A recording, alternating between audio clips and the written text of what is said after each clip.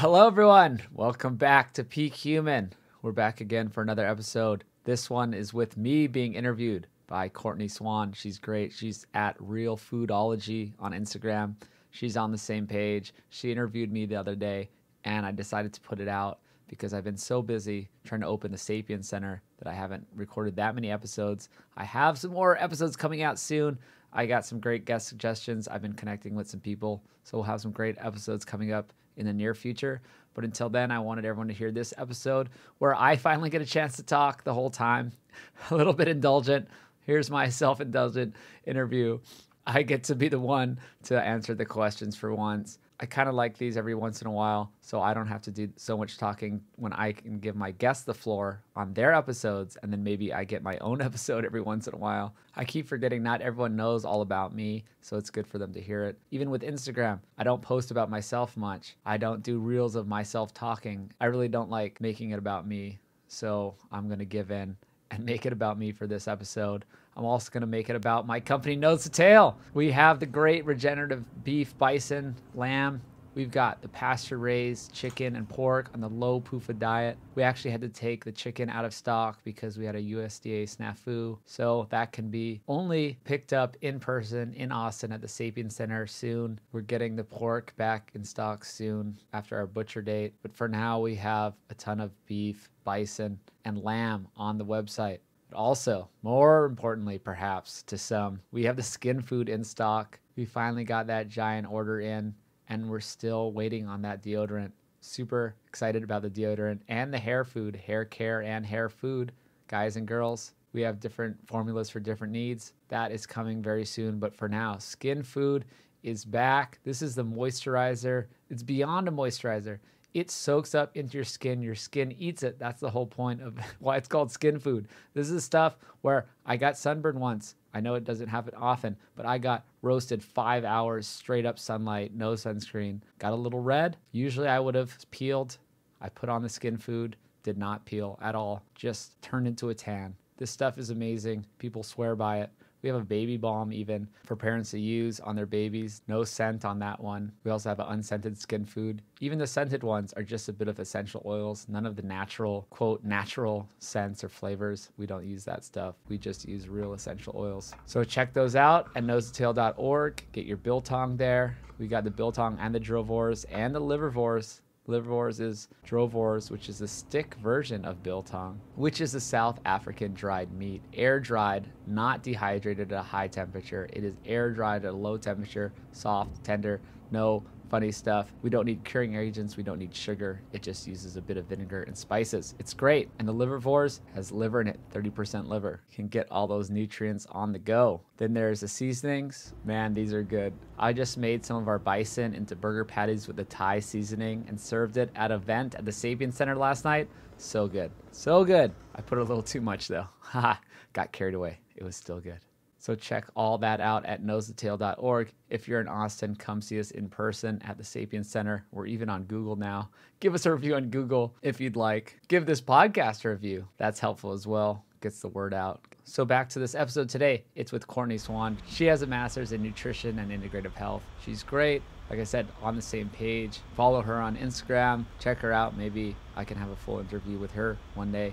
But for now, she's interviewing me Hope you enjoy this one. Hope you get some great stuff at nosetotail.org. Hope you check us out in person at the Sapien Center in Austin. And I hope everyone's doing well and enjoy this one with myself and Courtney. I'm very excited about this interview. I have been following you on Instagram for a while now. And something that I really appreciate about you mm-hmm. is that you don't sugarcoat things. You just mm-hmm. tell people the truth as they are. And that's really what all of us should be doing in this health and wellness world. But it, we've gotten to a place where we're scared to speak the truth and we don't want to hurt people's feelings. But I really am of the mind that we are really harming people and we are hurting them by not telling them the honest truth. Well, my account's called Food Lies. So I'm all about exposing the lies and telling the truth. And it's been working. Yeah. Yeah. It's definitely working. You've, You've gotten me very excited. Mm. Um, so I just watched your um, the preview for your docu series Food Lies, and I am so excited for this to come out. Um, I love in the beginning, you said, How can the smartest species to ever live be so clueless about what to eat? so before we dive into that, what was the catalyst behind this docu series? Well, it's been almost six years trying to put it together. It's been a long road, but it all started about nine years ago when I lost both of my parents. Mm. So we kind of mentioned in the intro, you know, it kind of the intro is on the Food Lies YouTube channel. It's three and a half minutes. It took us about a year and a half to make. We kind of did it, you know, scene by scene. We handmade every single one of those almost, and um, it's just a huge project that means a lot to me because yeah, I, I lost both my parents when I was only 30 and it's just huge mm-hmm. wake up call. I also was kind of turning into the dad bod type of thing around 30, you know, and I thought that's just how it was. You know, back then you don't know anything about health. I was following the food pyramid. My family followed the food pyramid. So I get it. Like I, I call out a lot of people online who are nutritionists and whatever, and they're, and they're just spreading the same thing, the food pyramid, the same diets. And uh, of course, people aren't going to, they're not going to follow it and they're not going to get healthy because of the wrong information. Right. So everyone says they're, they're doing what they can, even the fat acceptance movement, which I kind of just posted on a little bit today with yeah. Lizzo. Uh, th- like, of course, if you think you're doing all the right things and it's not working, then it must be just you're doomed, right? You're genetically doomed. This is how I'm supposed to be. I thought that. My family thought that. We were eating the food pyramid. I grew up in Hawaii. We were eating rice. We were eating lean chicken. We were eating low fat yogurt, low fat milk, all the fruits and vegetables, limiting red meat. You know, steak was a big deal. I don't remember having steak much at all, even. And yeah, and then they just basically had all these problems. They had pre-diabetes. Now that I look back, also mm. doing some research for the film, the CDC website says nine out of 10 people who have pre-diabetes don't know it. How crazy yeah. is that? Nine out of 10 people who have it don't even know it because we're not diagnosing it. Same thing with my parents. I look back. Yes, they had all the signs. They weren't obese. They just had the big belly. It's basically insulin resistance belly, had all the little signs of, of pre-diabetes. No one told them. It just got worse and worse. We kept eating the, the seven to 11 servings of grain. We got the pasta, the low you know, low fat chicken, all the stuff I mentioned, hmm. getting worse and worse. So that's yeah, that's how I started this whole project. It it's become my whole life now. And yeah, just I just really want to get the correct information out there. Yeah. Yeah. Same. You and I are very aligned with that. How do you think we got everything so backwards? Like, how has our public health gotten this so wrong where we have this food pyramid that um, has gotten it really wrong? And do you think that this is on purpose? Oh, that's a good question. I actually did a, a, presentation at a conference called Exposing the Trillion Dollar Agenda Against Red Meat. Mm. So I dug really deep into that. And I think there, there was a lot of stuff that was guided in a certain direction. You know, you can kind of look back and you're like, oh, yeah, we got some things wrong. There was some science that was done in the 1950s and 60s, and we didn't have all the technology we have now, and we don't have all the yeah. There's even like ways to test food and like know about the nutrients and how it affects people and that type of stuff. And then you could say, okay, then the big food companies came along and they were just like, oh, well, fat is bad. So let's just replace it with a whole bunch of processed grains and sugar. And you know what I mean? I've done like the first five years, I kind of just thought it was just about money and that it just kind of was an accident. And then lately, I've been wearing a tinfoil hat. No, I uh I kind of I just woke up to like a few more things about how the world's work. I think people who wake up about the sick care industry, right? We don't yeah. call it the healthcare industry uh, they they were like, wait a second. So this is all backwards. The healthcare system's backwards. The food system's backwards. Like what else is backwards? And then you can kind of keep going, and uh, it's a, sort of a bottomless hole of like, well, wh- how is society set up this way? So I don't I don't want to get too far off of nutrition, but I just think a lot of things are kind of set up in ways that aren't beneficial to individuals right? It's not about individual yeah. health. None of these systems are good for individual health or individual wealth or individual anything it's more about gigantic systems like government size systems you know nation size systems or even world systems that are there to just kind of keep people in line, honestly, right? Just like, eh, just let them be like ants in a colony and just, all right, we need to put some things in place and tell them what to eat. And oh, we can, this is cheap. We have a whole bunch of corn, wheat, and soy, and we can subsidize it and we can afford, you know, to feed the masses this. And that's what happened since the Egyptian times, since we invented grains. It's kind of there to feed the masses. Yeah. Yeah, you made some great points there and and I think something that people really need to understand is that there unfortunately is money in sick people. They make money off of people that are sick. I mean, cancer and diabetes are billion dollar industries. And if we can get people to a place where they're just sick enough that they're not dying, they're on medications their whole life, they're in the hospital, um, you know, they have all these medical bills, like we're they're making money off of people in that way.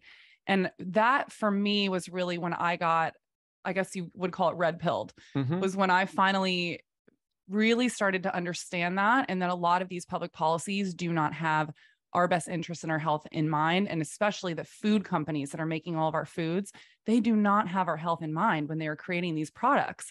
And this is what people, I think, really need to understand. And that for me was the beginning of kind of peeling back all these layers and, you know, peeling back the onion.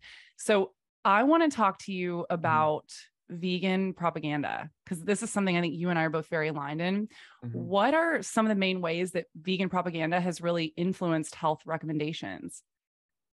Mm, well, it's coming to a fever pitch recently. I, I thought I, you know, we saw the peak. I mean, even five years, five and a half years ago when I started making the film, I saw what the health and it oh was God, the vegan yes. film, right? Maybe it was, was six years ago. I think. Yeah. Well, it was really the day I decided to make the film was because I watched that, and then I just was like, well, this is opposite uh, of everything that I just learned, everything that I did to change my own health. I, I didn't really tell my story. Quick detour. Not only was I getting a dad bod, I had acid reflux, like heartburn. I had all this joint pain. I had chronic overuse injuries, inflammation from using the computer. And I just had all these little problems, allergies. All that went away. All I did was kind of just cut out uh, just, well, it was the three ingredients the seed oils, the grains, and the sugar. Cut that out. All that stuff went away. It, it doesn't make sense to people. You're like, your allergies went away. I'm like, I had allergies my entire life and they went away. And uh, if I go to a restaurant maybe sometimes I have a charcuterie board, you know, and it's like, okay, let's try some of this bread. Maybe it's sourdough bread. Maybe it's not so bad. Allergies the next day. Mm. It's it's crazy. So okay, vegan though. So I had I, a, I had a very similar story. So I just had to share that I used go. to suffer so immensely from acid reflux that I had to get a, a camera down my throat because it was it was so bad that they thought that I was like deteriorating my um my esophagus and it the second that i changed my diet around it just went away like it was just gone. I couldn't even yeah explain it. It's it's crazy and yeah like people think it's from eating like a lot of meat and cheese and like rich foods. Like no i only eat rich foods now and i've Same. never had it.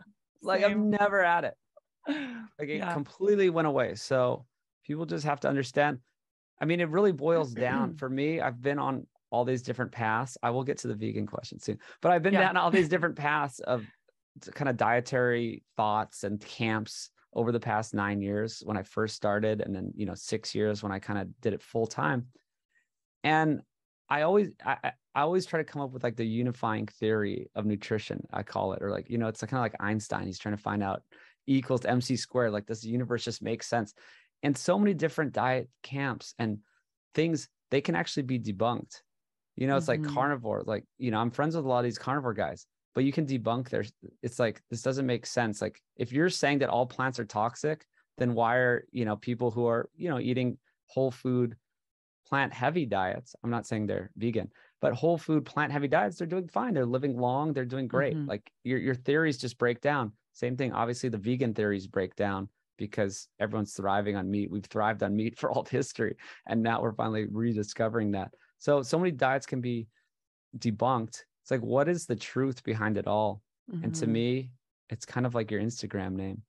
It's like real food. It's like it comes down to all the good diets have in common is that they're using real foods and they're avoiding the three ingredients that I'll probably mention five more times on this episode. It's the refined grains. It's not all grains. I mean, you could even figure out, you know, people traditionally could eat some grains, you know what I mean? I, well, it wasn't great. We actually our our height and health suffered once we started incorporating too many grains in our diet, displacing mm-hmm. good nutrition. And you can see that in the archaeological record around 12,000 years ago. And friends with an archaeologist, Dr. Bill Schindler, who talks about the skeletal difference. They look at the remains before and after agriculture. Striking. We our brains got wow. smaller, we got shorter. There's more, uh, yeah. So uh, there's more lesions. You could see disease in the bones. There's more arthritis. There's more all these things once we started eating grains. And so mm-hmm. people don't really know that that not they're not maybe bad for everyone. I don't want to like and there's different ways to prepare them, right? You can prepare grains, you can soak and ferment and there you know there's that kind of thing. But I think they're just displacing good nutrition. They're they're not nutrient dense. They're just they're not very good. They're kind of for p- keeping people alive. So especially nowadays is they're ultra refined grains and it's just like white flour and then there's the added sugar and then there's the seed oils. So these are these three ingredients that make up i mean probably up to 80% mm. of people's diets. A lot of people's diets could be 80% those. If you look at a grocery store it could be about 80% products just made from those three ingredients different combinations of them right? All the inside of the aisles of the store everyone says you're not supposed to shop in that type of thing. It it's wild. So that's like kind of the root of all I've seen is like if you eat uh, too high amounts of these refined ingredients, you're going to be sick. And if you avoid them, you're fine. Yeah. Well, generally.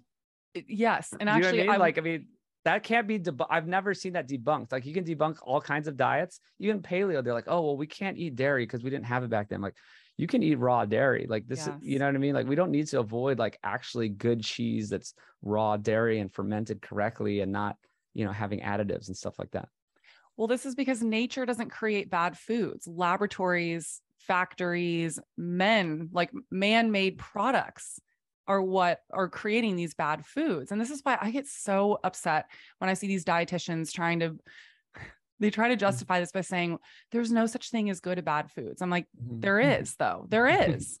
when we're talking about the difference between whole real foods versus highly palatable, hyper processed, um, refined seed oils, high fructose corn syrups, all the things that we meddled with, these are not nature made, these were man made. And I just, it drives me crazy because we are vilifying these foods that we've been eating since the dawn of time and we're trying to blame these foods on modern diseases that we are only now more recently seeing. And this is where i get really upset about this vegan propaganda. And like you said we can we can talk about both camps because i think this is really um, this is a really important part of this conversation is that we are now separating into these two camps of either you are vegan, plant based, this is the right way, or like carnivore, this is the right way. And mm-hmm. my thinking is that it's somewhere in the middle. Mm-hmm. And but I I really am having a hard time right now with this vegan propaganda, which is why I wanted to have a conversation about it because again, a lot of what your film is about is what I talk about all the time is that we are so confused now about what to eat and there's so much propaganda coming from these billion dollar marketing mm-hmm. campaigns that are trying to get people away from eating certain foods and one of them right now that's the people are just being infiltrated with is this vegan propaganda and we're trying mm-hmm. to vilify meat and make it be this horrible demonized food. Well okay i'll answer your question now. So for their food products to be good your meats and eggs and fat need to be bad yeah right? Th- th- this is how they do it. This is like they have to create this this war and this kind of like two sides. I mean, a lot of societies like that. It's always like split up into two sides against each other. So I hate all of the politics stuff. It's just all yeah. bogus, just two sides eh, eh, fighting. It's crazy. So if you go back, it's a lot about money. And so, okay, I was going, I went from where, what the hell to the next vegan film I was going to say is Game Changers. James Cameron had $140 million invested in his pea protein company. He, you mm-hmm. know, like there's always the big interest involved in selling a product. So I have a grass fed meat company called Nose to Tail, sell like regenerative meat, like the best meat you can buy, super expensive and no profit margin. So, so that, so once I mm. started, mm. I realized, oh, I get it. I have no money. I can barely have, I have half an employee. Like I have one half of an employee. That's it. And then wow. you look at Kraft Foods, you look at all these gigantic companies that sell the highly processed food. There's such a big profit margin in it. That's actually what it came down to in my presentation about it wasn't just about the trillion dollar agenda against red meat. It was kind of just, well, it was because it came down to the money. It was about how much money is in processing plant foods. Mm.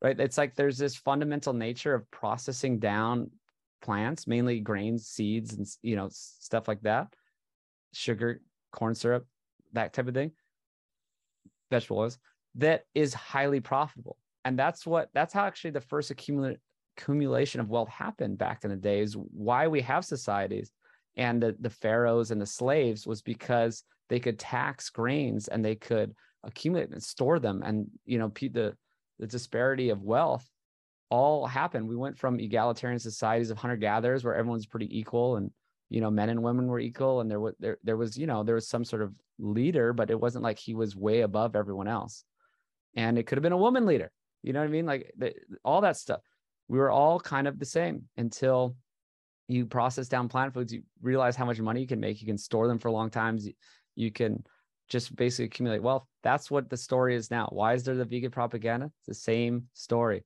You make so much more money off it when you're using the cheap refined ingredients. And then you have this gigantic profit margin that you could use to do the marketing. What is all the marketing? It's all for the breakfast cereals and all the highly profitable foods.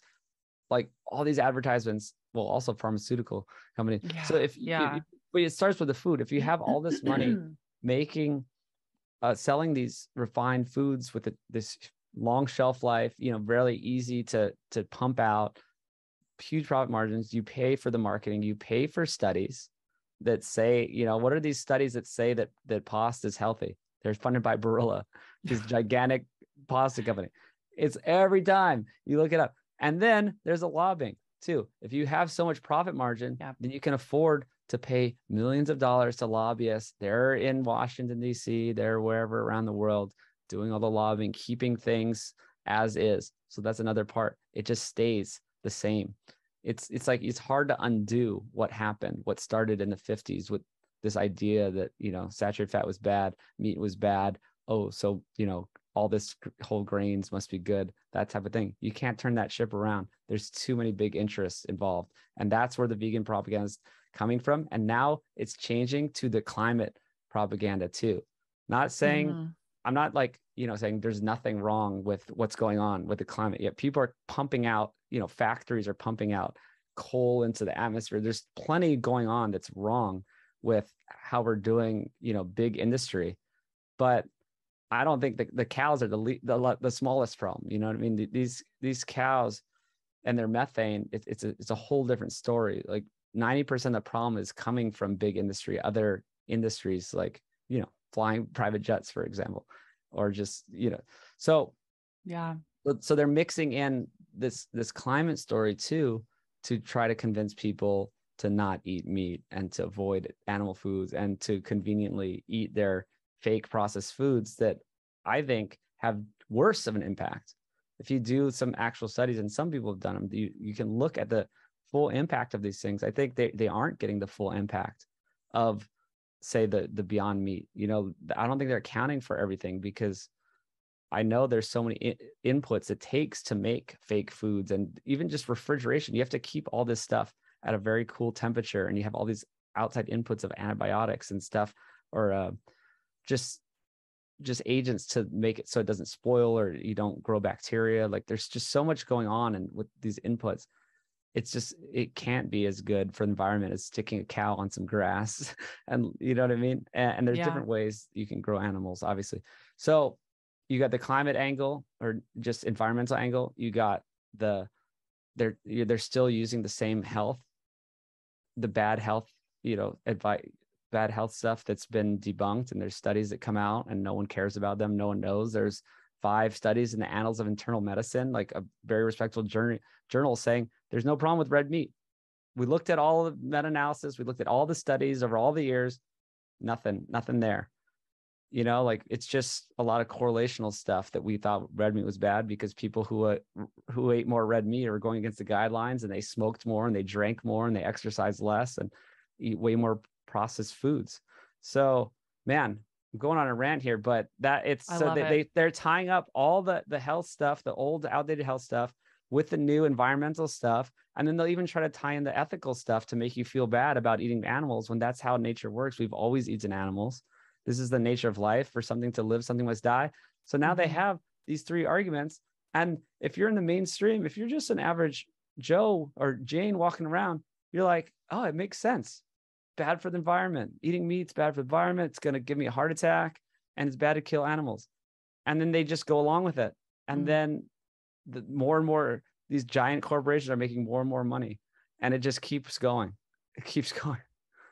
Well, and the funny thing that I find is that there's so much iron irony in the messaging. So people that are um, really concerned about the animals, I I'm empathetic to that. So I don't want anyone to think that I'm like shitting on their their morals around this because I was actually plant based for five years because Mm. of animal welfare concerns. Um, but I think what a lot of people need to understand is what you just said was that in order for um, one to live some like something must die. And this is part of of our work as humans on this planet is understanding that this is just how life works. It's part of the life cycle of being on planet earth unfortunately. And we all have to come to terms with our own death and the death of of loved ones and animals and and people and and things that we really care about. Um, and then on top of that when you look at just the way that we are farming we kill more ground animals just by doing this industrial um, conventional way of farming with the spraying of the pesticides and the monocropping. And all of this is what is actually contributing really contributing to climate change because we're destroying our soil. The carbon's no longer being brought down back into the soil. And as a result our food is not as healthy for us. It's not as high in vitamins and minerals. And then like i said we're killing all these ground animals. So there's really no way around it. Either we're killing all these ground animals or um, we're eating a cow that hopefully is grazing in pastures you know in the grass. That the biggest thing for me and this is where I think all of us meet in the middle, that whether you're vegan, carnivore, whatever it is, is that we, I think we're all in agreement we need to get rid of factory farming because that is just horrible. It's not good for the animals. It's not good for our health. And I think that's where we can all kind of agree. And I've been saying this for years. I'm like, vegans, I'm on your side. Like we're all against this. Why don't we all come together and and get rid of this? Because we we need to have the cows back on on pastures and grazing as nature intended. that's the message and that's how i know people don't really care about that because they're completely missing the point and i mean i think Yeah. Vegans have their their strong ideology and it's like a religion to them so they're they're never going to say that message. But what i well, how i know that the big industry and the big powers that be governments all the people you hear they're insincere because they should be having that message and they're not saying it. Their me- Mhm. their their message is just buy the processed foods and meat is bad. And like they they can't think that that's the end of the story. And I, I it just has to be you know the other reason which is the whole profit train. And oh you brought up a good point about all the animals that die. I actually didn't know there was actually four times uh as the- animals die in four different times. And the studies show there it was I, I- oh man i don't want to quote it because it's, it's wrong but more animals die more mice die to raise say a certain amount of grain than beef they did it a study in australia but what i learned about all the animals that die there's four different times one to clear out the the land and they have to decimate entire ecosystems of animals Mm. to make room for cropland. And this maybe has happened a long time ago or more recently, but it had to happen. It is not natural to have thousands of acres of corn or wheat or soy or anything like that. Completely not. They have to wipe out everything. Then, like you said, all, all these pesticides, herbs, they're spraying everything, killing all kinds of stuff. There's Mhm. also along that their farmers have to pay to shoot animals. They have to, they actually like, you know, have hired guns, like actual guns to, to shoot animals to protect their fields. Then they're they're killed in the harvesting. These big combines like actually Mm. chop up like all these ground nesting animals, ground nesting birds, baby deer, like mice, all kinds of, but like bigger animals too, like, you know, small deers. And then this is the last one I didn't know about. They're also, once you harvest it, all their food source is gone. So now there's oh, yeah. thousands of thousands of animals that starve to death. And I did not know about this until a, a farmer told me about it. He's like, oh, yeah, now they slowly starve to death. So there's no way around it. And people need to understand that. And it's just, we're going away from nature. So it's part of it is people just live in cities, they're not connected with nature at all. So that's, I think that's what the only reason vegans exist. Like a vegan wouldn't exist in the past because mm-hmm. we were mm-hmm. just connected with nature and we, we knew what was going on. And people, they would witness dozens of animals dying before they even could talk for their food. You know, you, you just see it growing up and it's like, oh, we're killing this chicken so we can eat. And it would have been part of your life. And now I think a bit purposefully are being disconnected from nature. Mm-hmm. And, you know, it's just more like, oh, just get the newest VR headset and, you know, live in a box in the city and, you know, don't worry about where your food came from. Buy, you know, buy it from a factory instead of a farm. And, oh, it's, it's, becoming like WALL-E. yeah. We put a little clip of WALL-E in the first episode. Food Lies is now a six part series. And we put a little clip of WALL-E to, you know, call it out. Yeah. Yeah. I mean, it's scary what's happening. And and not to sound like a broken record, but it, it there is a an element there where it feels very um like it's on purpose. I mean, you shared something the other day on your Instagram about how media outlets are sharing about a study that came out about ultra processed foods that are linked to cancer and premature death and then they were using photos of meat as the main cover. And that was not even what the study found. It was highly processed ultra processed foods. But these large corporations i mean you have to think about like the media um, a lot of these media outlets are being funded by these large corporations that are creating these foods. And they can't you know bite the hand that feeds them Oh, I know people that, that have got uninvited from shows. They were booked on a news program and then they found out that they were going to talk about mm. anti like cereal or and processed foods. And the advertiser, yeah, who funds them? It's Kellogg's, all that. They said, no, this person cannot come on. Wow. I mean, it's that it, I can't remember what film it was in. It might have been uh, Fed Up. I can't remember which one it was but when Michelle Obama first started her whole initiative to get America healthier, her main message in the very beginning was to get people away from highly processed foods and sodas and, you know, packaged foods. The food industry got wind of it and they met with her and they shifted her message to be more about moving your body instead of like cutting out these processed foods. And then of course her whole movement was sponsored by I don't remember which brands it was, but you know, it was probably like the Quaker Oats and the Kellogg's and you know, Coca-Cola, all these mm-hmm. big name brand companies. I do remember seeing that. Maybe it was Fed Up. Fed Up's you know, good quality film. And yeah, this is what they've always done. They started the Energy Balance Consortium.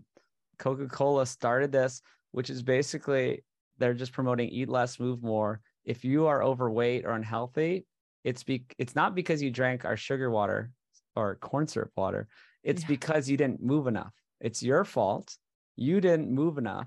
You didn't exercise enough. You're just a slob. And our our corn syrup water is fine. Mm. And they've been trying to do this for decades. And there's different names for it. There's different, yeah, they they pay for so many movements, studies, any anything they can to keep that message alive that it's your fault. And that's actually one of my biggest things that I do. Like I'm in the real food world like you. It's just I and I'm against the guys. There's different like Instagram influencer type people, even with PhDs, that are saying, no, no, no, you just gotta if it fits your macros, you just gotta count oh, your calories. Yeah. And it's crazy. And I get into debates with these people and I just I, I can't I can't stand it. Can't stand it. And because it's it's exact opposite of what I believe in. It's kind of like there's these two different paradigms. And one paradigm is this mainstream industry funded paradigm that's just eat less, move more. There's no bad foods. Yeah. If, if you, if you, there's, yeah, like the people you're talking about, if there's bad foods, then we're going to create eating disorders around these things. And like, no, there are bad foods. Like you said, there absolutely are. And there are good foods. Good foods come from nature. Bad foods come from the lab or the factory. So they just say it's on you. You needed to eat less and move more. And we're saying that is not it, that your body is just not meant to have these foods. And it takes maybe longer for it to catch up to some people than others. And for me, it was about when I was 30. And I interviewed a great PhD, Michael Rose, who studies this stuff. He came up with, with some of the the best research. He used fruit flies, and then he kind of went on from there. But great research on on aging and metabolism and health. And he's a big proponent of just eating real foods, kind of just going back to the way we used to eat. He's for one, if you paid me a million dollars to guess his age, I would say 45, not a day over 45. He's 65. Watch his presentation, look wow. up his age. Dr. Michael Rose, he's 65 on stage. I'm like, that guy's a 45 year old. Uh, did a podcast with him. He's amazing, getting him in the film. But what he, what his paradigm is that it's not that we you, your metas- metabolism slows down when you age. People say that, oh, you know, I'm not a kid anymore. I don't have the fast metabolism. It's the opposite. It's that as you age, you're less adapted. You're less able to eat the modern processed foods. Mm. It's very interesting, and it, it makes a lot more sense. It's just like it's almost like you can get away with it while you're younger, and then it catches up to you, right? And so that's what I'm saying. There's like two paradigms. It's just his, his paradigms what he's found scientifically and you know so many of the other people that i interview have found this scientifically that your body is not made for certain foods you can get away with them if you white knuckle it enough you know to count calories and be starving and maybe you can force it to work for a certain amount of time it's not going to work in the end in the long term maybe you can do it for a couple months and you can lose a few pounds that doesn't mean anything, right? If you're just eating less of the same bad foods and that you're like, oh, it worked. Oh, wow. Like I, I went on vacation and I, I dropped a little bit of weight. That means nothing. That doesn't mean it's healthy. That doesn't mean you got enough nutrients. It actually probably means you lost muscle mass. Mm-hmm. Really, there's studies that show that if people who drop weight on reduced calorie diets without enough protein and nutrients and they'll just lose muscle mass. So the scale doesn't know your muscle mass right? It's just you, you think you're losing fat, you're losing muscle. That's the worst thing you can do. You yeah. you need muscle. You want muscle. Muscle is like a hack. It's like a secret to being healthy because it can burn more glucose. Basically, you can just burn more calories when you're not even working out just by having more muscle. You can handle more foods and, and you don't have to you know, you know restrict so many calories. So oh man, I keep going on these rants that go maybe it. on some tangents, but it, it you you you can't have this idea that there are no bad foods and that you just need to eat less move more. It's it's just such it's such a, the the wrong message. And I actually have a solution. My version is called eat densely move intensely. Mm. so eat less move more right? It kind of just means nothing. It's like telling someone to to be rich. You just need to make more money than you then exactly uh, but so i'm saying eat densely move inten- eat densely means eat nutrient dense foods. Like you need like nutrient dense foods are pretty much any food from nature. They they they have they naturally have the correct nutrient density. They give you enough, especially if you're eating animal foods, you get enough protein, you get enough nutrients. And basically any foods that are processed are not nutrient dense. You know, I mean, it's almost the definition of nutrient density is unprocessed foods mm-hmm. right? Processed foods are basically shoving in a whole bunch of seed oils and sugar and grains into foods, which make them less nutrient dense by almost definition. Well, they've literally stripped away all of the vitamins, minerals, and nutrients that were in those foods by heating them up, processing them, doing all the, you know, the processing of making that food.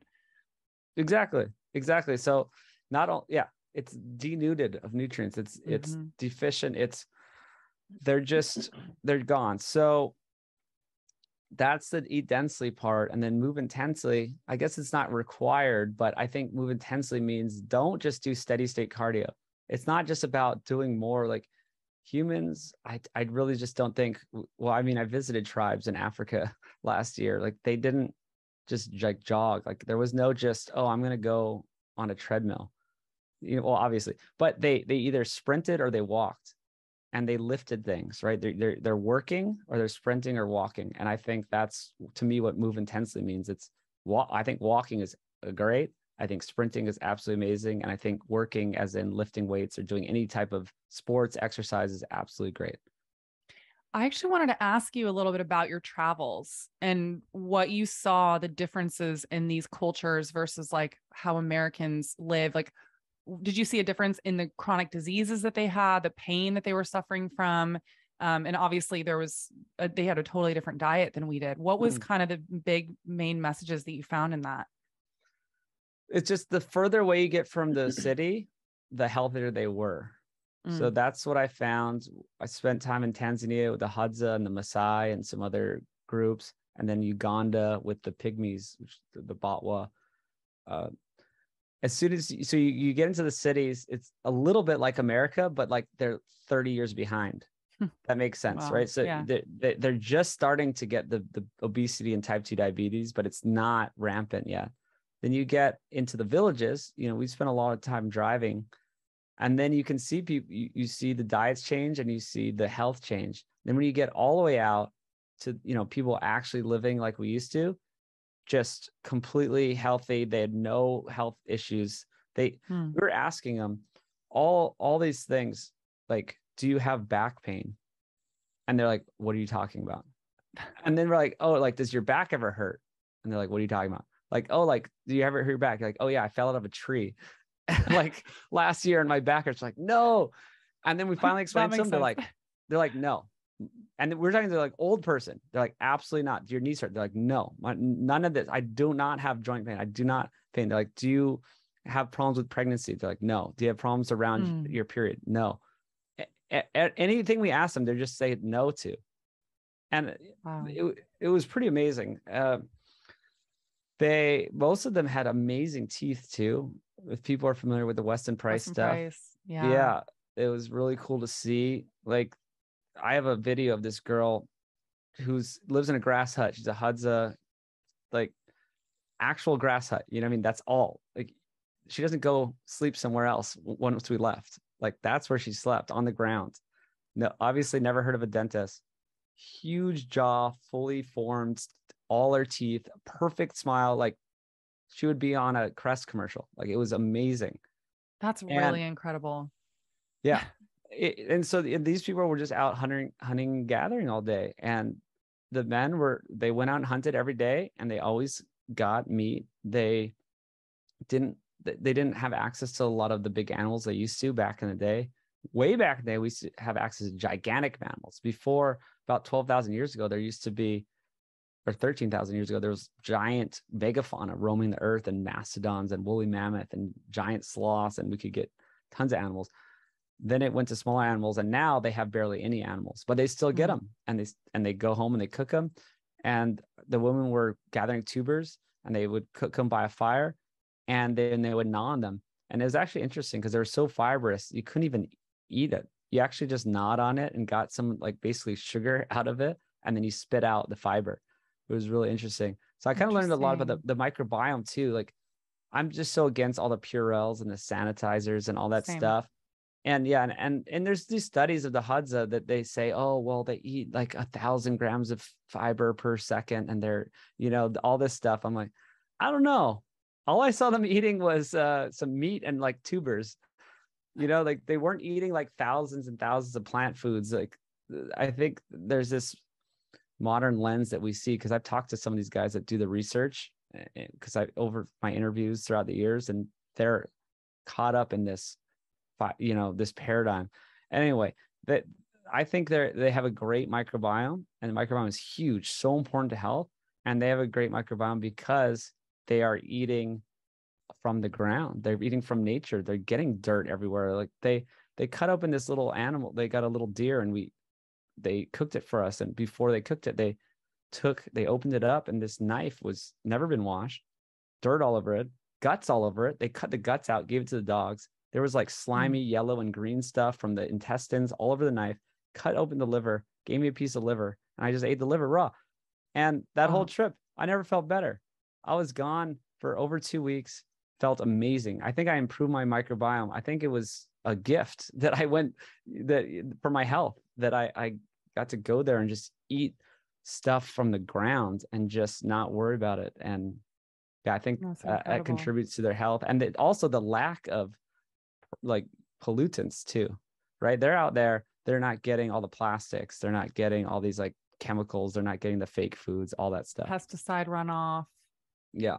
endocrine disruptors, all the fragrances, the cleaning products, the Purells. Yeah, it's a big issue. Excuse me. I'm coming, I'm recovering from a really crazy cough that I had.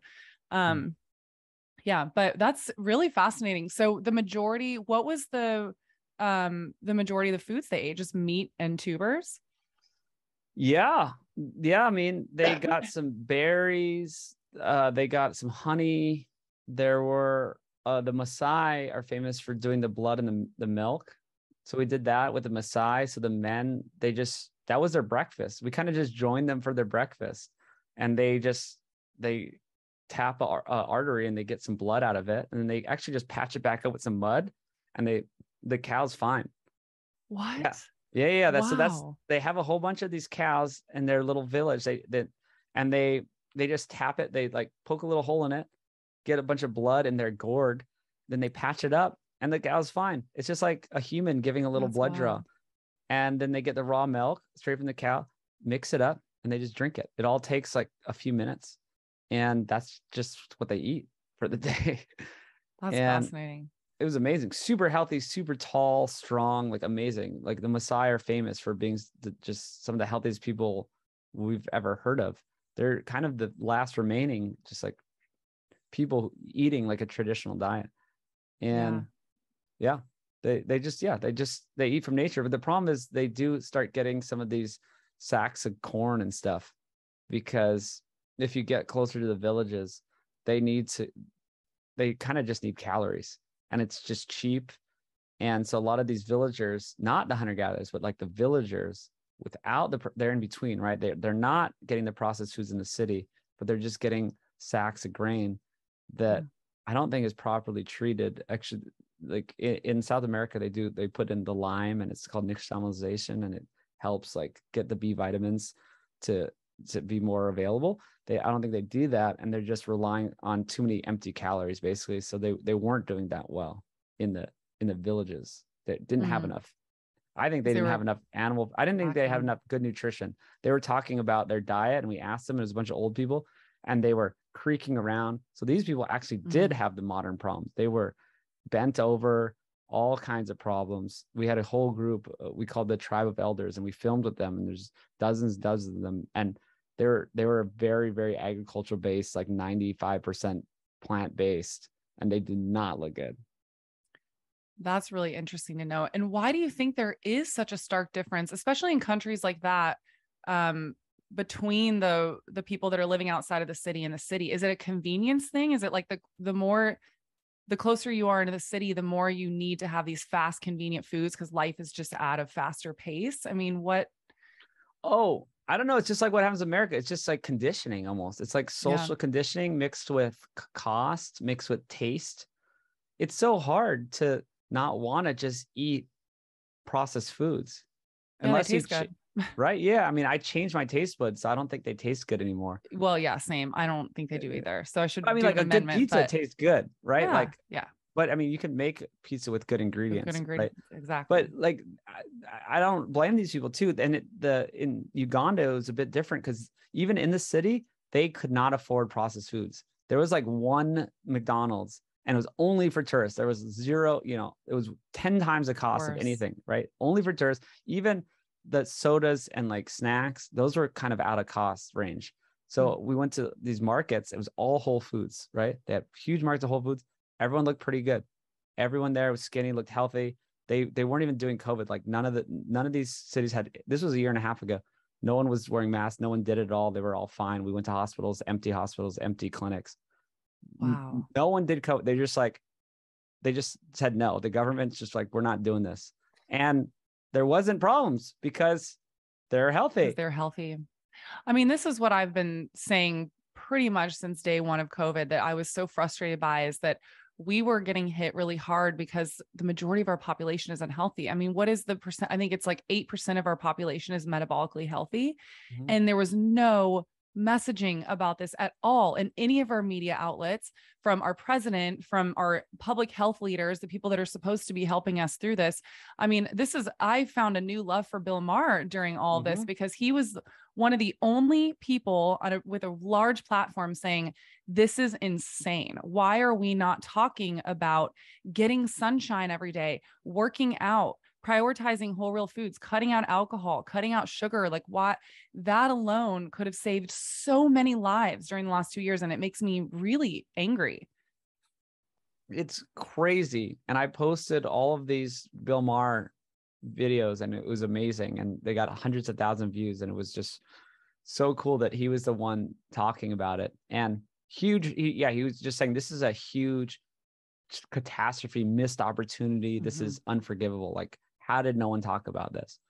And it was just interesting to see other countries and how they didn't or their lack of addressing it because they were doing fine. They so to finish the Uganda story, most people were doing fine because all they had access is to real foods. Maybe they didn't have enough animal foods. I think they they just have to rely on like just like 20 bananas a day or something. Like they're getting enough calories, but they had these cooking oils and it's just so cheap. I was going to say in the city, it's just cheaper to get cheap oils.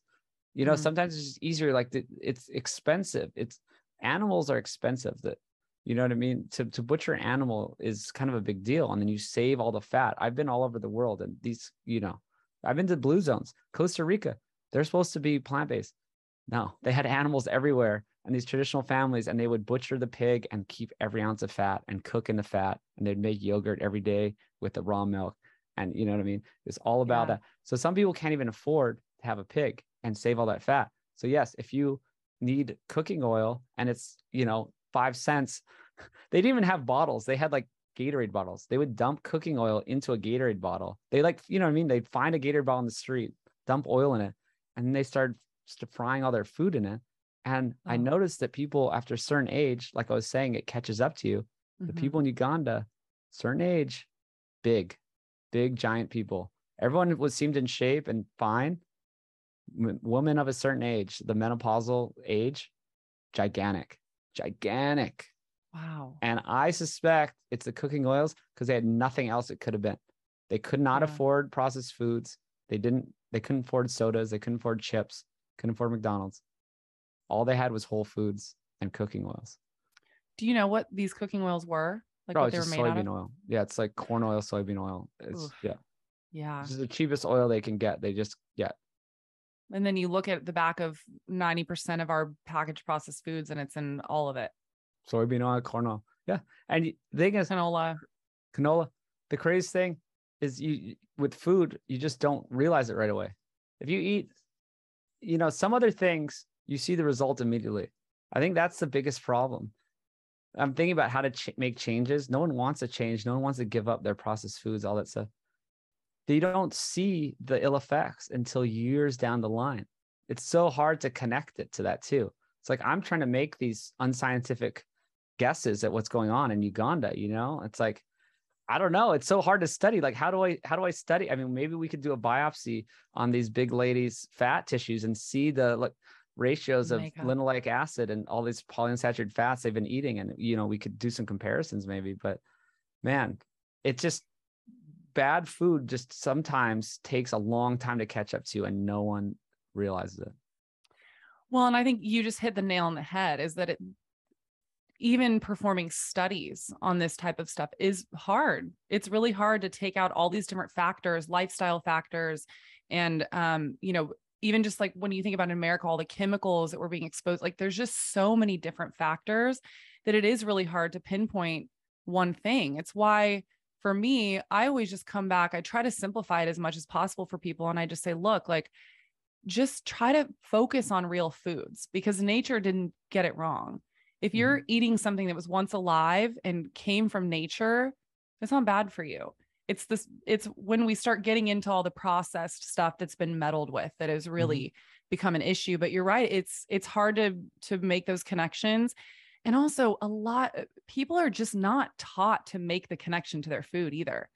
People don't think about that. Like mm. we have been told that just as you age, you this is just what happens. Mm-hmm. You know, your body breaks down, um, your metabolism gets slower. This is not true. Get on medication. Yeah, it's normal. It's like, yeah. of course. Yeah, you're on three medications by 34, by 40. It's like just goes upwards. Yeah. It's normalized. Yeah. it's normalized. And so we're not even taught to even think that way and make those connections. And it's so hard too to make those connections because like you said, it's just a slow burn. So for for people listening that are are new to this journey what is some advice that you would give them because i know that this is really confusing and hard to navigate what would you what would you say mm. it is confusing because everyone has their own diet idea and there's people message me they're like why is it so conflicting? You said this, someone else says that. I saw this video that said the third thing. You got to go back to what I was saying. The unifying theory is the whole food versus processed food, and you you can't really go wrong.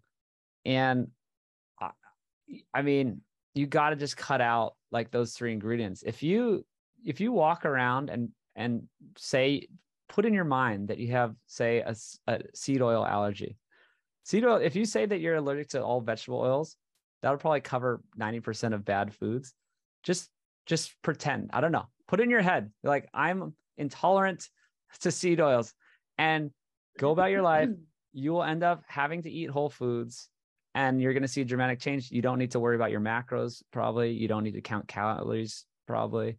You can just cut out well, hopefully all three of the highly refined ingredients and things will change. And sometimes I tell people just to to get them going is take the diet people have all these preferences right? There's so many people are like religious about food almost right? It's like my culture it's my thing it's what i do. Okay take the diet you're already eating right? Whatever it is it could be whatever foods you eat like to eat in each group. Get let's just get rid let's replace the most refined. There's got to be some like the highest highest refined ones. Like if you like to eat I don't know, bread or something worse. For me, it, would, it was just really the bread and the tortillas. Cut those out. Got rid of, get rid of those. Add more protein. Mm, get more. Yeah. I, I, just say like eat a steak. Just replace the, the processed foods with more meat because I think no one eats enough meat unless you're Shawn Baker or my carnivore buddies. You know what I mean? Like these, there, there's certain people getting enough meat. If you're looking at the world, not enough meat. And I especially like red meat because I think it's raised better. It has a better nutritional makeup. There's, I think there's a lot of things that are completely backwards with us demonizing red meat. So I say, get more protein in your life. You're going to be more full. You're going to be able to fuel your muscles and body to, you know, to, to support itself. And you're going to replace that. You're going to get rid of just say the bread, whatever, or it's the treats, whatever little, like I'm sure everyone has a certain amount of their diets, it's processed. Get rid of that part slowly and replace it with more quality protein, especially just so you're full. I think that's a huge one because some people could get into like the whole food world, but then you could end up in this sort of like vegan whole food world and you're just eating vegetables and fruits all day and you're just not getting enough protein. So, yeah. And then you're starving. And I would even add on to that and say eat more high quality fats too, grass fed butter. Yeah. yeah. Usually avocado. comes with protein. You're yeah. right. But you're right. Fat, protein, some sort of combination of those because once you start eating more of those foods you naturally crowd everything else out because you're fuller you're more satisfied i mean this was my experience i i just started eating more high quality fats and eating more meat again because I, I like i'd mentioned earlier i was plant-based for five years and that was really what completely turned my health around was just incorporating more protein, more meat, and more high quality fats. And, you know, and I would say too, for people that are just beginning on this journey, something that also really helped me, instead of feeling like, okay, I have these foods like, you know, the bread and the tortillas that I just have to completely cut out and like avoid, just find high quality, real food replacements for that. So, like, for example, I really like organic fermented sourdough gluten free bread. And I find that I have this mm. amazing bakery near me here in LA that makes it with whole real food ingredients. There's no mm-hmm. like seed oils in it. It's fermented, it's organic, and it's gluten free. And so if you can find those healthy replacements or like the cassava flour tortillas that I get mm-hmm. at the mm-hmm. grocery store, things like that are a great option so that you don't feel like you're just totally depriving yourself. that's a good one. And I yeah, I'm here in Austin. I was in LA. um I got a chef over here working with me, and we do a cassava flour tortilla with just lard. We use just Yum. like good lard from the ranch down the street and a little bit of salt and some cassava flour. Absolutely find those replacements. And maybe even it's good for a transition. I think there's just it's not all or nothing. And you can go kind of on a journey and you, you could start with some replacements, find the healthy replacements, get yourself off those, then maybe even try without them for a while, see how you do. Right. You like who knows? You could be like, oh my God, my arthritis just totally went away even though it wasn't Yeah. the gluten, you know, because it's still something in the bread, even though it's, you know, like a really good bread. So I always tell people tr- get rid of the, some of these things for, you know, months and months at a time. And then you can come back to them. And then, and then maybe you can heal your gut a little bit more. And then you can come back to them and you can tolerate them better. But yeah, Yeah. good point. Yeah, that's great advice. I love that.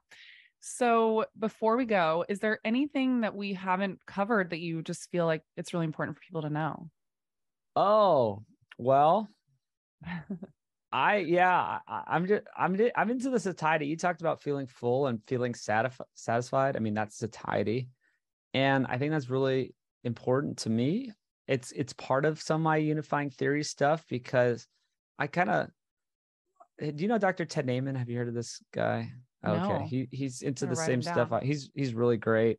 He's on Twitter a lot, and he's really fit, and he's just really into kind of these simple, high level nutrition stuff and we're we're kind of on the same page on this stuff. We kind of develop some theories together where it's like, why are whole like whole foods are good, processed foods are bad, kind of like why? And a lot of it's to do with the, the processing, and it's kind of a lot to do with the satiety. That if you are taking, if you're processing down foods, and then you look at them at the same amount of calories. So say like if you ate an egg, say you ate like five eggs, and that's whatever calories, and then you ate the same amount of calories worth of bread, right? That's going to leave you completely different in the status, uh, like how long you're satiated, right? And I think that actually matters a lot because losing weight or losing fat specifically is basically a battle of hunger, right? Everyone everyone knows this. It's like, oh, Yep. how because everyone's just 100%. trying to eat less, right? The, the strategy isn't to eat less. Like I said, that can be done in the short term. You can eat less and lose weight. That's not helping you. That's not good nutrition wise unless you're eating the correct foods. And it's you could be losing muscle, right? All that stuff. So if you're trying to win this battle of how do I lose fat and not be hungry, the answer is to be satiated for longer so you can eat less without trying. And the answer is everything we just said protein, fat, high quality, natural proteins and fats, and whole foods. It does that make sense? So, like, Yeah. basically, if you process down foods, one of the reasons why they're bad is they're not, they interact with your body differently, right? They affect your Mhm. blood sugar different, your hormones. You can get all these details. I do podcasts. It's like GLP and GIP1. There's like neuropeptide. So all these like hormones and incretins and stuff that goes on in your gut when it's highly processed. And it hits your blood sugar faster and makes you hungry faster. And you can, your blood sugar can go up and it can come down. You can go hypoglycemic, you know, and then your, your your blood sugar's low and you're starving again. So, so much has to do with satiety. And so much of that is eating fats and proteins and whole foods. And then everything else kind of comes naturally. So, yeah, to me, it's just like, it's kind of this magical thing that brings it all together is why whole foods are good and why you know people who do whole foods diets they're not sitting there tracking calories and macros. It's because they're naturally satiated. Again nature doesn't make mistakes. When you eat a bag of chips once you pop you can't stop. They're designed to make you keep eating. And i actually one more quick thing. I, I of course agree with the hyperpalatability argument and there's food scientists that are developing food to make you keep eating all that 100% agree. But it proves a point of satiety. If they were actually satiating, then you could eat a whole bag of chips and then be full for the, the rest of the day. They're Yeah. not satiating. They're empty foods. They're bogus, fake foods. So you are hungry again a few hours later, even though you just ate the big chips. So it's not necessarily the fact that they're hyperpalatable in a sense, right? It's the fact because if steak was hyper steak is so good to me, I could eat a gigantic steak but then I'm just full forever and I'm not going to eat again and it all it's all fine. So really it comes down to the satiety, which really comes down to nutrients, protein, fat, minerals, vitamins, giving your body what it needs. Absolutely. I mean, it's that very popular saying that I've heard a lot in this community in the last couple of years is that people are overfed but undernourished because we are not eating these nourishing foods. And it's why, like you just said, someone can eat an entire bag of chips and then be hungry an hour later. But if you eat a massive steak, you're probably not going to want to eat the, most of the rest of the day because you're going to be full. And it's because your cells are being nourished with pr- true nutrients that your body is actually asking for versus these um, f- food like products that are devoid of any sort of nutrients that your body and your cells actually need. Yeah. That's it. That's the theory of everything right there. It's like why why are whole foods good? Why is meat good? Well, animal foods have bioavailable nutrients and vitamins and minerals and protein and simple as that. Yeah, exactly. Okay, so I want to end this with a question that I ask all of my guests. What are your personal health non negotiables? These can be things that you either do on a daily basis or a weekly mm. basis, mm. no matter how busy you are, mm. just to take care of your health. You know what? It's actually so I think there's four pillars to health and that you can't cheat nature in these four pillars and it's your food, it's exercise, it's sleep and it's sun. It's like get it yes, so, sort of sun outdoors. And I actually am most strict. My non-negotiables are the other three other than food. People think that's crazy. I'll have a pizza once in a while. You know what I mean? It's like, oh man, this wasn't like the perfect gluten-free sourdough pizza. If I'm, you know, wherever I am, I'll eat the pizza. But my so my non-negotiables are the other things. Sleep. I will get eight hours of sleep no matter what. If I get less than hours of sleep, I'm gonna find a time to take a nap. Like, yeah. I'm obsessed with that. Like my my mom had Alzheimer's. I'm not trying to, you know, deprive my body of sleep. I think I'm most consistent with sleep, most consistent with getting outside, getting sun. I get my vitamin D, and most consistent with movement. Like I have a simple workout, 25 minutes twice a week, I mean, I do play beach volleyball. I do some sprinting as well, but I'm talking about in the gym. I'm only in the gym 25 minutes twice a week. That's non negotiable. I don't skip it because it's all, I can always do that. No matter how busy you are, I'm up to 11 p.m. actually these days, every night, working 9 a.m., 11 p.m. It's crazy trying to do too many projects, trying to finish the film. I'll still work out.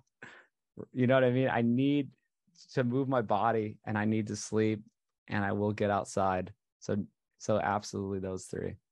I love that. Yeah, I'm you are you and I are on very similar pages mm-hmm. with that as well.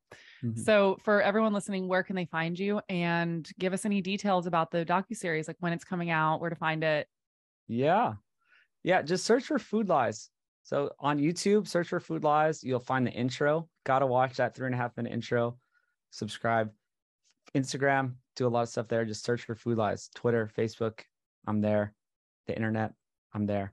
So definitely do that. The film is quite the beast. It's been such a journey. We're refilming, we're doing second interviews with people just to make sure we get every ounce of gold out of them, get an even higher quality footage. We're going all out, custom composer, doing entire score from scratch. We have a graphic artist that's going over every single study and every single piece of information we do to make it into a you know infographic and having hundreds and hundreds of studies it is insanely hard. It's going to be a six part series. It's we're trying to finish it by the end of the year and we're trying to get on netflix and i think we have a really good shot at that. We have some good distribution companies wanting to work with us and help us take it worldwide like be, even beyond netflix and you know they have these big strategies to go everywhere. So that's awesome. stay tuned. Yeah I can't wait to see it. I watched the preview for it and I was blown away. I was just like, mm-hmm. yes, someone needed to make this. So thank you for making that. It'll be Oh the, yeah. The the work is well worth it. It'll pay off. It will so, be. Yeah. Well, thank you so much, Brian. This has been such an amazing conversation. I really loved it. All right. Thanks for having me. Yeah, thanks.